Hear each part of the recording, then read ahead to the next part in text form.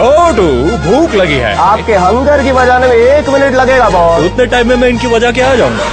Ching's के देसी Chinese instant soups सिर्फ़ एक कप गर्म पानी से करो धमाका।